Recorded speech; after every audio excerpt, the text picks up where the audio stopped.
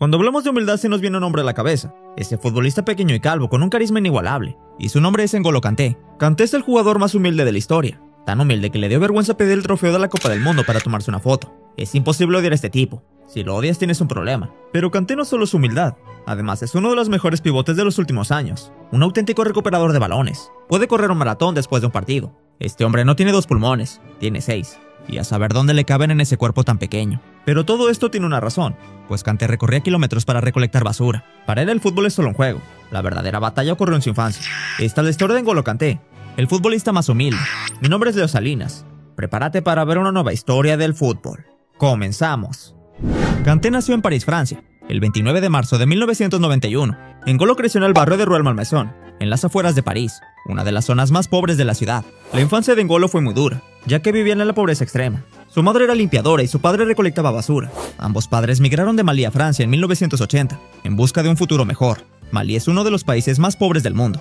Kanté empezó a recolectar basura desde muy joven, al igual que su padre. Empezó a hacerlo cuando inició el Mundial de 1998, precisamente el Mundial celebrado en Francia, ya que los extranjeros tiraban comida y cosas valiosas para el hogar. El pequeño Engolo recorría kilómetros en busca de basura que podía ser valiosa. Desde ahí supo que nada sería más duro que caminar kilómetros solo para recolectar basura.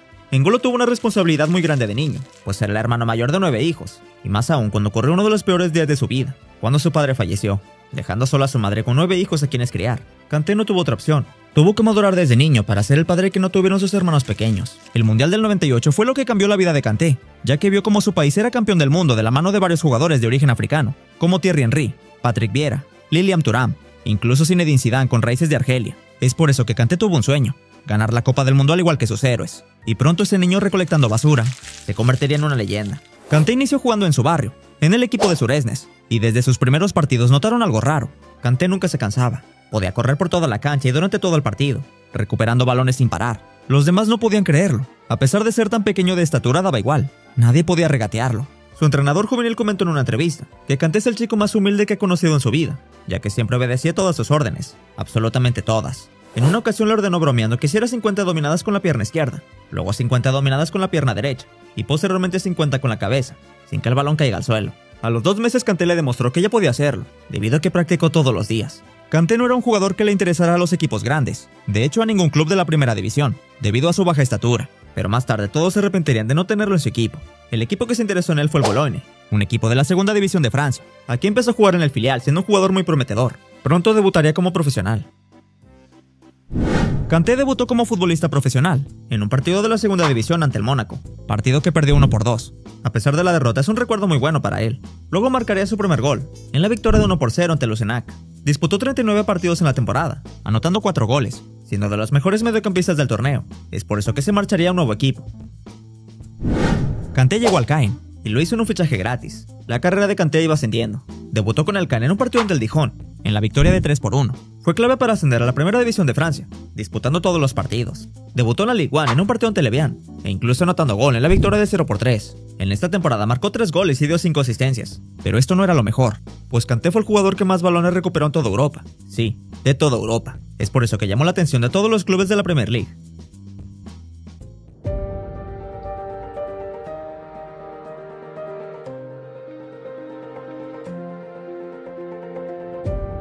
Kanté llegó al Leicester City, en un fichaje de 9 millones de euros. En este equipo haría historia.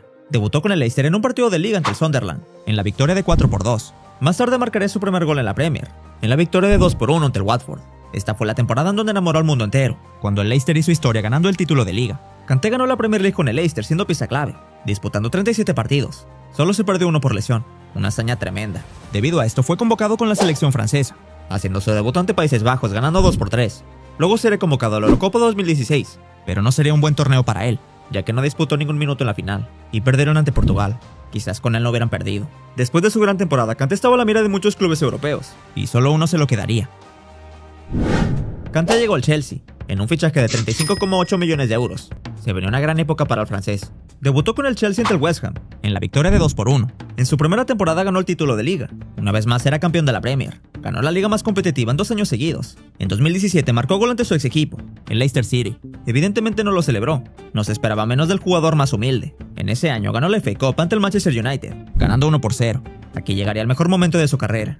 Kanté fue convocado al Mundial de Rusia en 2018, y este torneo marcaría un antes y un después en su vida.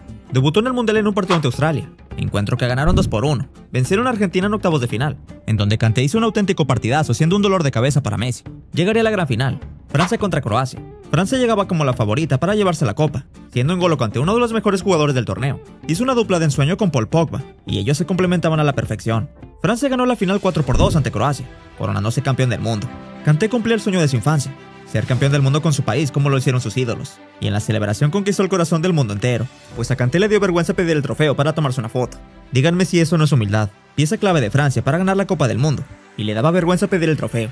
En su mente él no es una estrella, es una simple persona. Al final Pogba pidió el trofeo por él, para que se tomara la foto que todos amamos. Desde ese día Kanté firmó su nombre con letras de oro.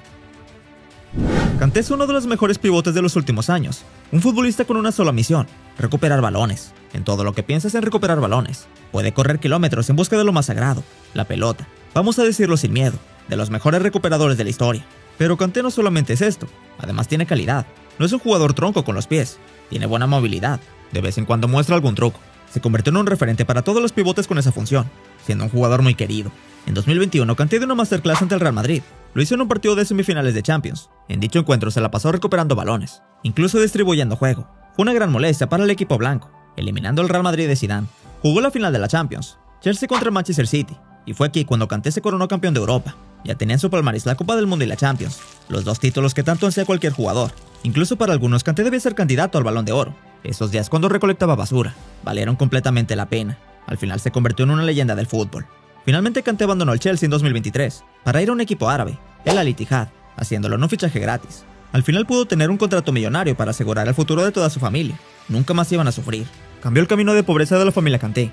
Si bien parecía que solo iría a pasearse y a cobrar dinero, pero no, Kanté no es eso. Él iba a dar lo mejor de sí mismo. Volvió a un gran nivel y fue convocado a la Eurocopa del 2024, regresando a la selección francesa. En el partido ante Austria fue premiado con el MVP del partido, el mejor jugador del encuentro. Incluso podemos ver que Kanté se encuentra en un estado físico bestial, totalmente definido. Tan solo mira ese abdomen. Este tipo no es fácil de derribar. Lamentablemente para Kanté cayeron eliminados ante España, en la ronda de las semifinales, pero fue un gran torneo para él. Hizo una Eurocopa muy digna.